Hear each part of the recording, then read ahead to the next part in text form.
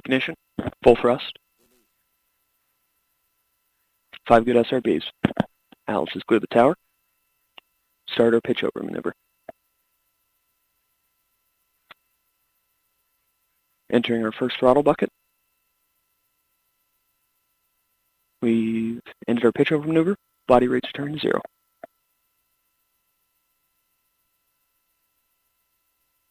One point five miles in altitude, traveling twelve hundred miles per hour.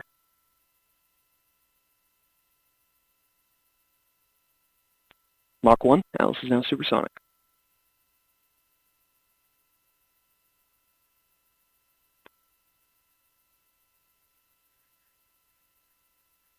Throttling back up to near full power. Two miles downrange. Six miles in altitude. Hydraulics continue to look good. Body rates as expected.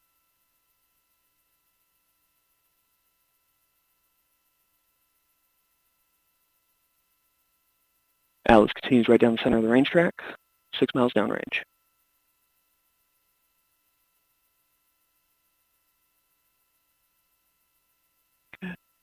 Entering our next throttle bucket, preparation for SRB burnout.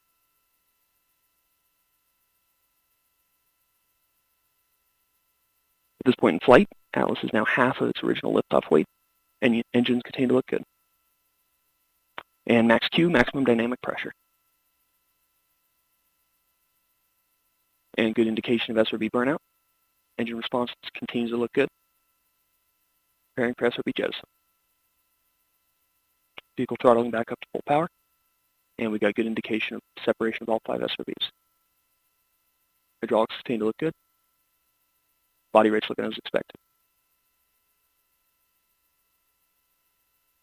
Vehicle's now approaching 40 miles downrange, 37 miles in altitude.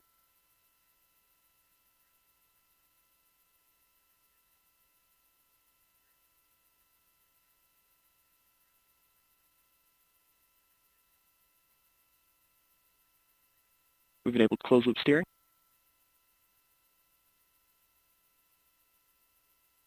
And two minutes to expected BECO. Engine continues to look healthy.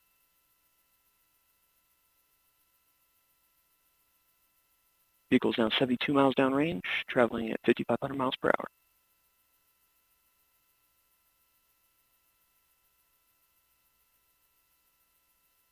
Entering our next throttle segment, maintaining a constant 2.5 Gs in preparation for PLF jettison.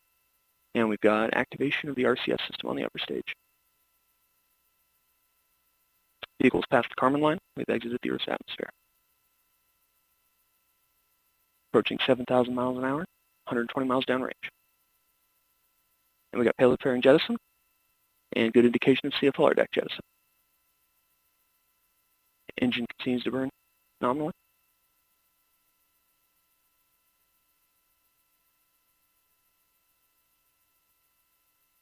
60 seconds to nominal BECO. Hydraulics stay look good. Engine will begin throttling down to maintain constant acceleration for the remainder of boost phase. Body rates continue to look good.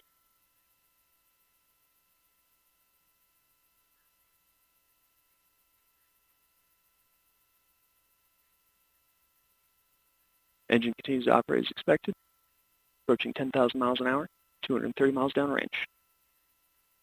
30 seconds to expected BECO. We've got activation of boost phase chill down.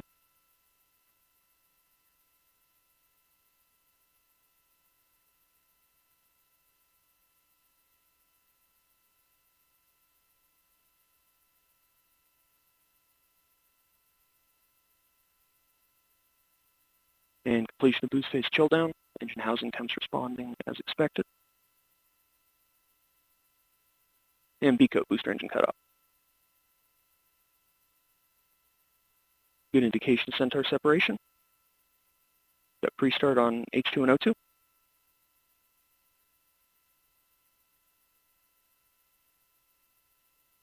And ignition of Centaur upstage.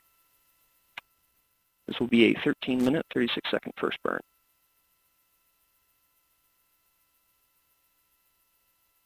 We've enabled steering on the upper stage. Centaur PU set to open loop.